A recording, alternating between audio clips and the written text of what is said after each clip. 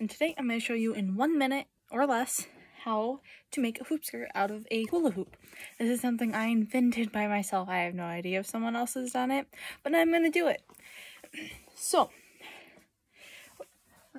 Step one, you take your yarn and you measure it around your waist so that you can tie it in a bow. Then you cut it or break it.